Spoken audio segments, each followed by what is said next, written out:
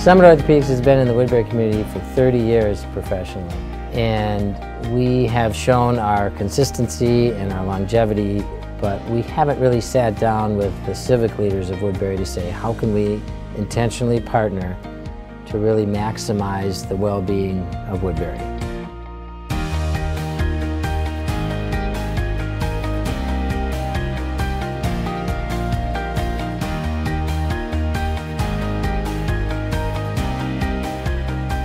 We're here to really make this the best place to live and the best place to grow and be active and be healthy.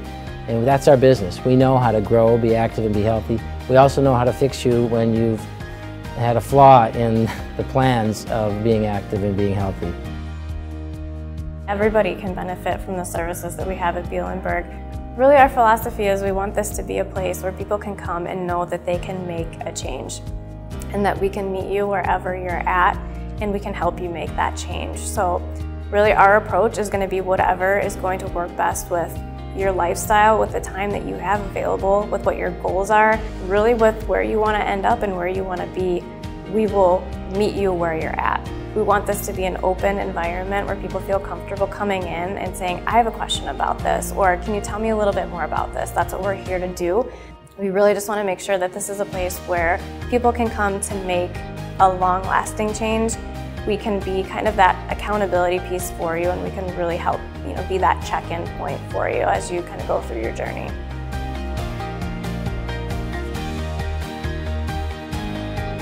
What is the imperative right now that we have in healthcare? And the imperative clearly is that we need to increase the quality of the care that we deliver.